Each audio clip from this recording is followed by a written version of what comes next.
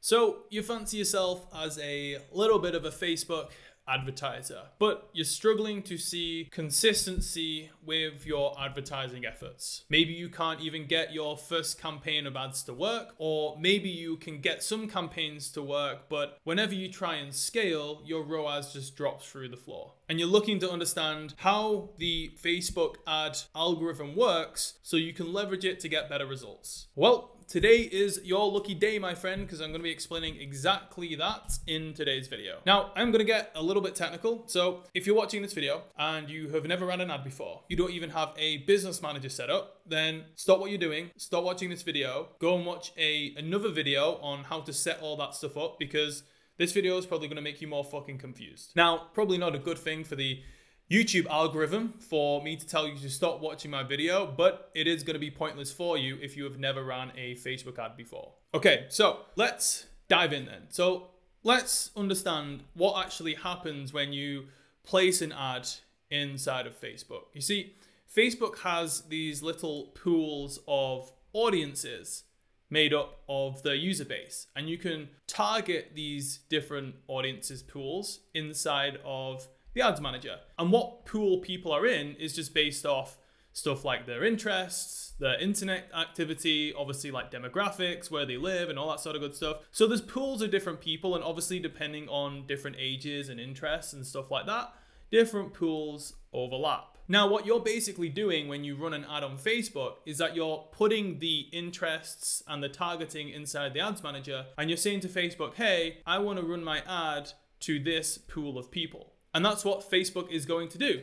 They're going to serve your ad in the newsfeed of the people that you targeted. But it's not only going to be you who is targeting these people, right? There are literally millions of different business owners who are using Facebook ads to get in front of their customers. So you might be targeting this pool of people, but so is Bob, right? And so is Jenny, and so is Sarah. So because there is so much competition for Facebook, it effectively works like an auction, where you are all basically bidding to be shown in front of this pool of audience. Now, naturally, as supply and demand goes, some pools of audiences are going to be more competitive and more sought after than others. And that's why you will find, depending on your offer and your business and the market that you're advertising to, the CPM will be higher or lower.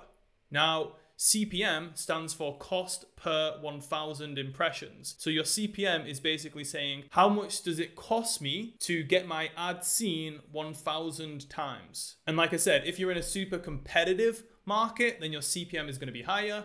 If it's less competitive and there's only a few people going after it, then your CPM is going to be lower. Now, you can't really do much about the competition in your market unless you are literally just going to completely change your business altogether, which I wouldn't advise. You can try and find different interests that your audience would be a part of that are maybe less competitive. So, for example, if you're a coaching business and you're running a self development offer, then maybe don't target the interest Tony Robbins because it could convert, but it's very likely going to be very expensive because every coach and their dog who has a coaching offer in the self development space running ads is probably targeting Tony Robbins. So you could try and find different interests that your audience would like on Facebook, but not like the big dogs that everyone is spending money on. So you can try and combat the competitiveness by doing that. But what you can do is try and win the auction, even if it is super competitive. So I've already talked about the targeting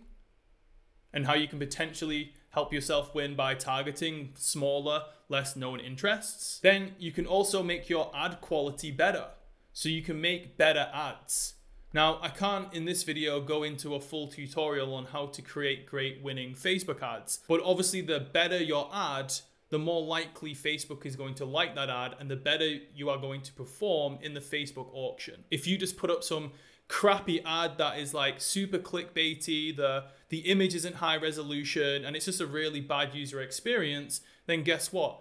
Your ad isn't going to perform well. It's going to be super expensive to run that ad because you aren't going to win the auction. Now, the third thing that we control, and it's what I'm going to dive deeper into in this video, is the budget of your ad. Because this is something that isn't really understood fully by the marketplace and different advertisers. But if you understand how Facebook responds to different budgets, then you can actually hack the, the algorithm or the auction and see better results. So, in order for us to understand how it, Facebook responds to different budgets, we need to look at the conversion to spend ratio. So, the way the ad algorithm works, when you launch your ad, it is going to go into a learning phase. And during the learning phase, Facebook is going to try and get as much data as possible and as much feedback as possible from the people who see the ad to then try and optimize the ad and the placements and the targeting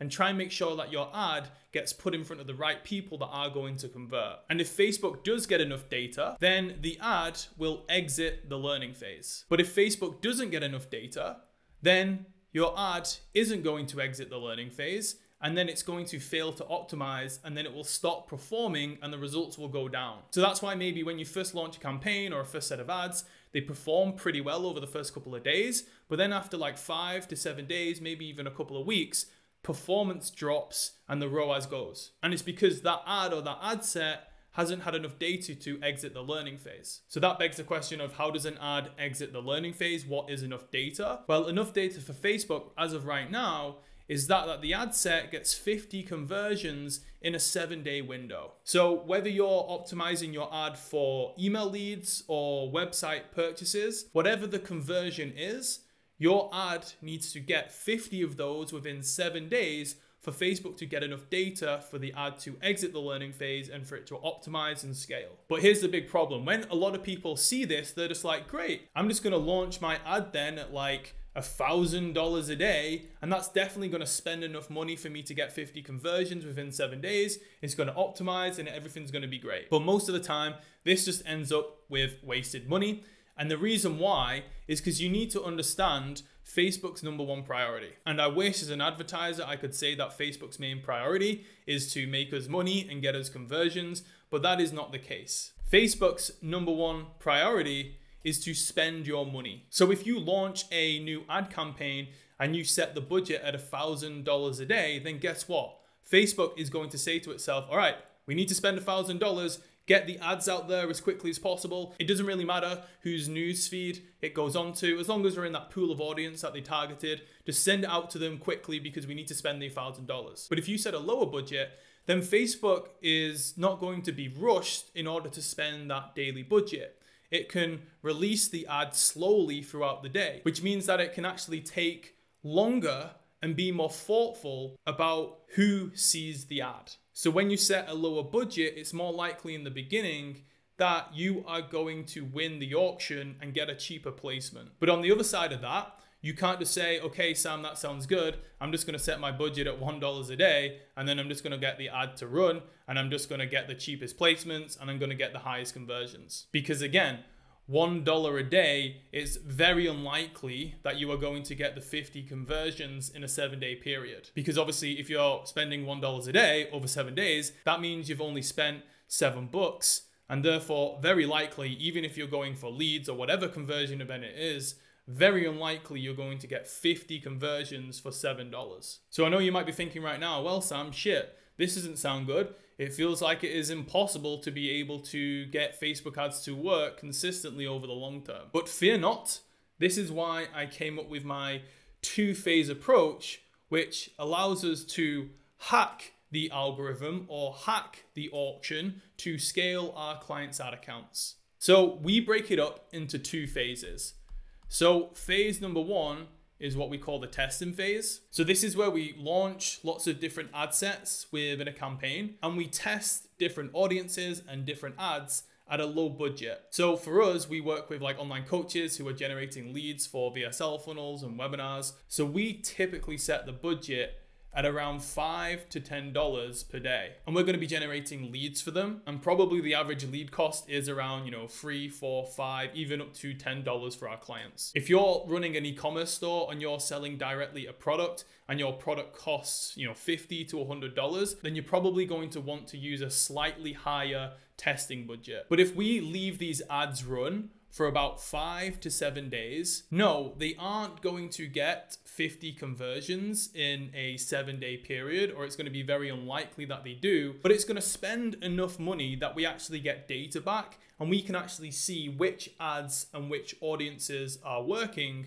and which of those the market is responding best to. So after about five to seven days where the first batch of testing ads fail to exit the learning phase, then we have a decision to make. If the initial KPIs and the initial results aren't that good, then we will kill the ads and launch some more. And if, say, for example, we have a few ads within that initial testing campaign that they are getting a good lead cost, they are getting leads for, you know, three, four, five, even six, seven dollars, then we can try and scale them. And we basically then move into phase two, which is scaling with CBOs. So CBO is campaign budget optimization, where it's basically where you set the budget not at the ad set level, but the campaign level. And typically you can get away with spending larger budgets with this setup. So what we do is we typically get two to four ad sets from the testing campaign, depending on how many are working well and we duplicate them into a CBO. And now we can set a much larger budget at the CBO to make sure that those ad sets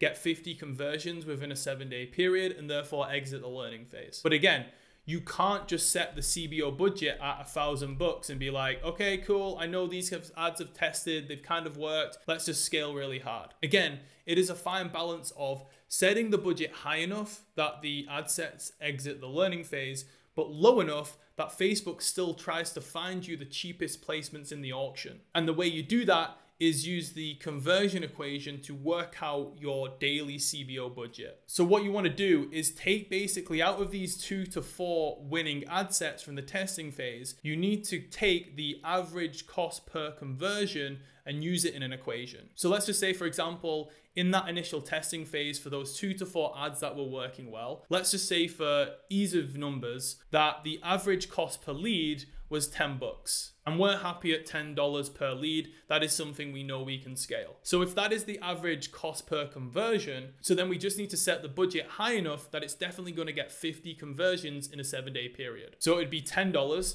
times by 50 divided by seven. Now that equals around 70 bucks. Now, because when you set a bigger budget, like I mentioned before, Facebook is going to try slightly less hard to get you the cheapest cost per conversion. So what I like to do when scaling with CBOs is give the budget a little bit of room to work because naturally the cost per lead in a CBO is going to be higher than the tests. So in this example, if the conversion equation gave me a daily budget of 70 bucks, then I would probably just put it up to 100. And then what I do is I basically just restart this cycle. So I continue to launch more and more testing campaigns at a low budget. And as soon as two to four of them are within KPI after about five days, I will duplicate them into a CBO, get the average cost per lead, use that into the equation, and then I can set the new daily CBO budget. Now, obviously, if you are an e-commerce store, and again, maybe you're not getting cost per conversions for $10 because this is for a lead, not a sale, then you would still use the same strategy. Maybe your cost per sale or cost per conversion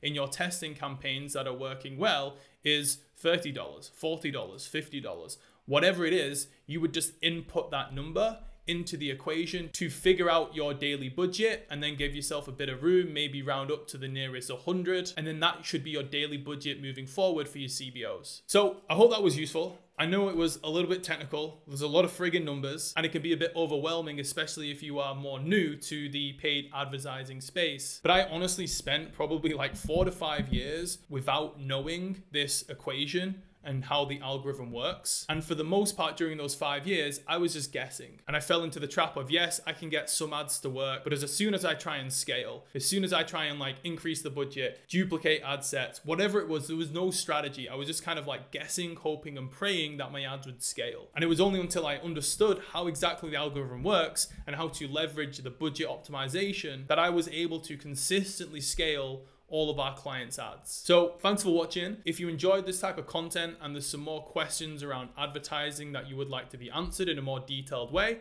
just let me know below. I'll make the video.